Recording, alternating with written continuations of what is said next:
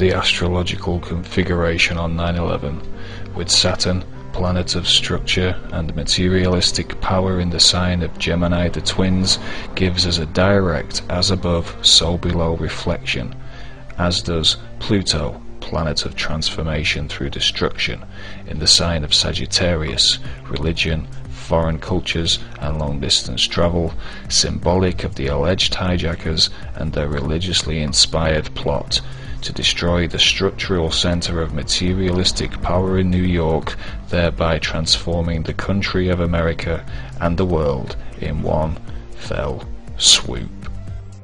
With such an impressive as above so below correlation on that day, we ask the question, do you believe in magic? Are these five direct correlations between Saturn and the World Trade Center complex coincidence, astrological synchronicity, or are they the result of a little influence by a hidden helping hand? So what of Pluto and its role in the astrological configuration on 9-11? Well, Pluto, astrologically, and its planetary influences are said to govern deep transformation. Pluto also brings past tensions back to the surface, and Pluto also rules all things secretive. Astrological Pluto gives us direct as above so below correlations with deep transformations occurring on all levels at the World Trade Center, New York, America and indeed the world.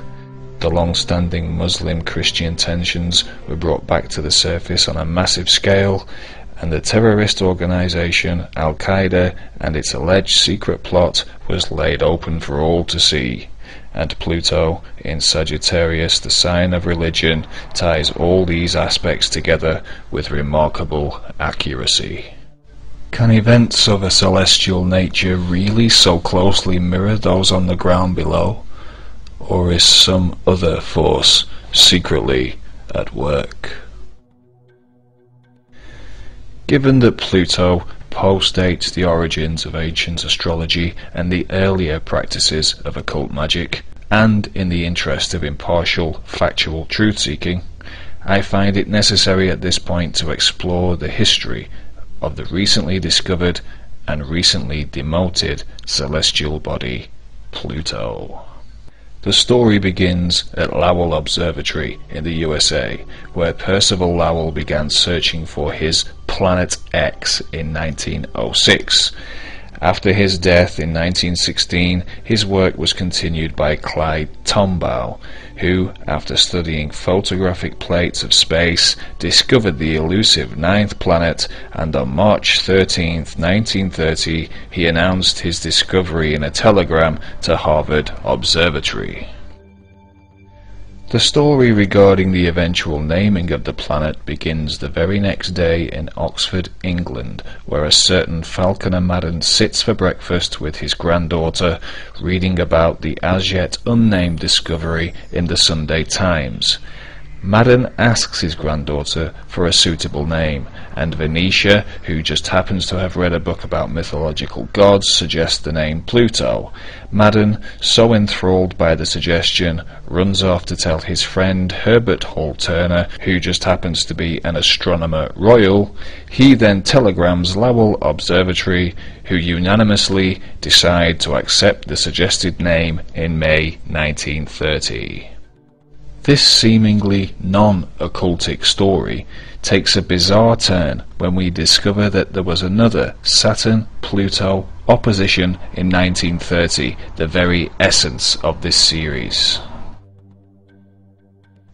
Just as surprising is the curious coincidence that Falconer Madan's brother, Henry Madan, is also responsible for naming celestial bodies Mars's moons and according to Venetia herself, she played no other role in the story than merely saying at some point the word Pluto. In her own words, she admits she remembers very little about the conversation and that the actual naming of Pluto was entirely Madan's work. And strangely, like the Madan brothers, Pluto and Mars are astrologically linked. Pluto is the higher octave of Mars. Staggering then to find them both linked to two brothers who played key roles in the naming of two astrologically linked celestial bodies. Is this merely coincidental history? More as above so below wonderment? Or is there something else at work behind the scenes? Madan was head of the Bodleian Library in Oxford.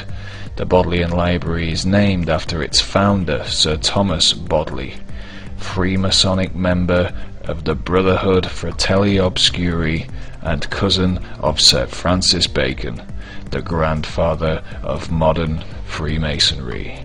Bodleian Library also includes Rhodes House, named in honour of gold and diamond magnate and Master Mason Cecil Rhodes, who conspiratorially initiated the Round Table Group at Oxford, hub of many still largely secret organisations, which include the Club of Rome, the Bilderberg Group, and the Council of Foreign Relations, headed by a certain David Rockefeller.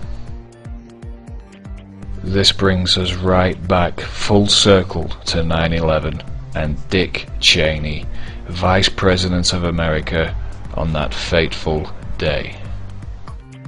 It's good to be back at the Council on Foreign Relations. As uh, Pete mentioned, I've been a member for a long time and was actually a director for some period of time. I never mentioned that when I was campaigning for reelection back home in Wyoming.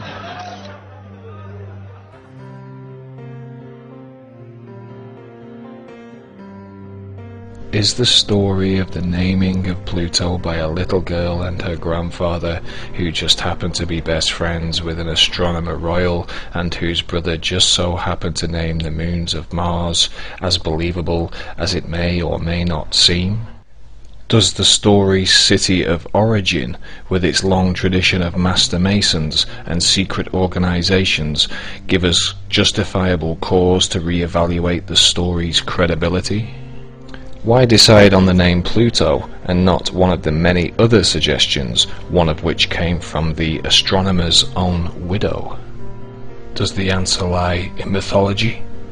The mythological god Pluto is a direct Roman replica of the Greek god Hades, god of the underworld. Hades is Greek for unseen, and Pluto comes from Pluton, a Greek word which relates to the word wealth. Hades and Pluto are mythologically the same unseen god of wealth, a status not dissimilar to a secret society. Pluto remains unseen because of his mythical cap of invisibility, and Grand Master Mason Sir Francis Bacon wrote in his collected essays, For the helmet of Pluto which maketh the politic man go invisible is secrecy in the council. To the Greeks, Hades thrived on the misery of mankind, and as Sophocles wrote of Hades, he is enriched by our sighs and tears. With this in mind, consider Bush's key 9-11 speech about the alleged hijackers. Behind them is a cult of evil, which seeks to harm the innocent and thrives on human suffering. Theirs is the worst kind of cruelty. The cruelty that is fed, not weakened, by tears. Perhaps Bush's speechwriters are simply adept astrologers. Or was it an unconscious mythological reference to Al-Qaeda? Or is Bush referring to something far more sinister indeed? Was the planet Pluto named after the unseen god of wealth who is enriched by human pain and whose cap makes the man of politics invisible to act as a reference for something still largely unseen? Is it merely coincidence that these two entities should be established on the same day of the year? Is it coincidence that the planet and the god will be forever linked with images of virginity? And was the cap of invisibility once again placed upon Pluto in 2006 to prevent the would-be seeker from believing in magic at all? Do you believe in magic?